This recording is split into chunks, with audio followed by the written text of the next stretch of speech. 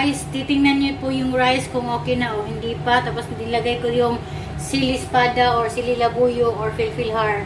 Kaya yan yung tatlong pangalan niya. Isaya, Arabic o Tagalog. English chili. Lagyan natin ng saffron with rose water po. Dito. Tapos nilagyan ko po yan siya ng cooking oil sa taas konti para hindi siya totally mag-dry. Tapos takban natin ulit. Tapos tingnan natin hanggang sa maluto siya. Tapos ready to serve na siya mamaya. Yan na po siya guys, yung ating chicken na. Ilagyan ko kanina ng tomato paste. Ilagay mo mamaya natin pagkaluto ng ating rice. Ready to serve na siya guys. Ang rice na lang ang kulang. Okay?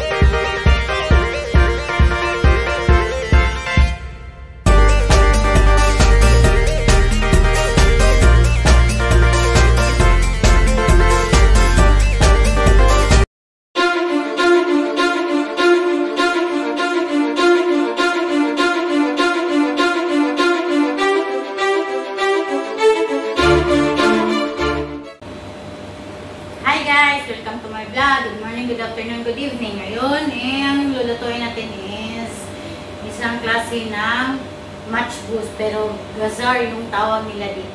Ito po, yung isang isang manok is hinati ko po apat. At saka ito po, yung tomato, tapos tatlong tomato, tapos apat na sili, yung sili labuyo po, tapos ginablend ko lang po, kaya ganito siya. Tapos basal, onion, uh, gingerbread or ginger, tom or or garlic. Tapos ito po yung uh, ilalagay natin doon lahat. At ito yung baharat or spices mix ng chicken natin. Ang ito lang, ang kaibahan lang is wala po siyang tomato paste. Kaya gasar yung tawag nila. Kung may tomato paste po is match boost na po yun. Match boost the judge or match boost the guy. Yun po yun. Tapos nagpakulo na po na kami ng tubig para ilagay na natin yung chicken. Tara, simulan na natin. Yan na po siya guys. Kumulo na siya, ilagay na natin yung chicken.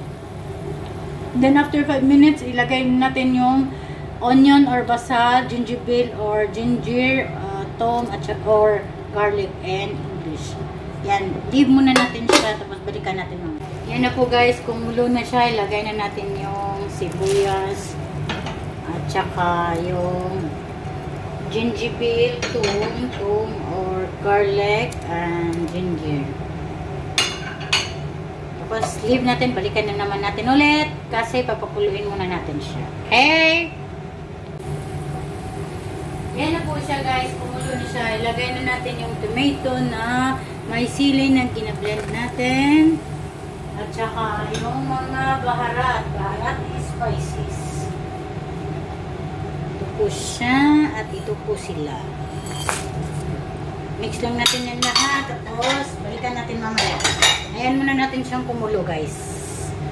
Ayan na po guys. Kinuha ko na po yung chicken. Ito po yung chicken. Lagyan natin ng tomato paste at saka yung iba pang mga baharat po. At saka ito, lalagyan na natin ng kanin po. Ito na po yung kanin. Gina, ugasan ko na po yung kanin niya. Yan po siya guys. Uh, estimate nyo lang po yung rice niya na hindi siya lata at saka hindi siya ano, yung yung tamang-tama lang po. Yan. Pakuluin muna natin, takpan natin at saka pakuluin natin hanggang sa maluto yung rice po. Hi guys, ito na po yung chicken. At saka ilalagay natin to sa oven pagkatapos natin pahiran ito.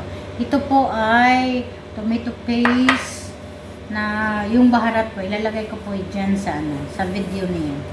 Mamaya po. Mix muna natin siya pag ganito. Tapos ipahid natin doon sa ano, sa chicken natin. Tapos ilagay natin sa oven. Yung oven po upside down po yung apoy niya pero Yung sa ano lang, huwag yung malakasan, yung medium. At titingnan nyo po na hindi siya masunog. Yung tamang-tama lang po na brown siya. Tapos, mamaya-maya is check natin yung kanin natin. Ganito lang siya. Huwag masyado madami.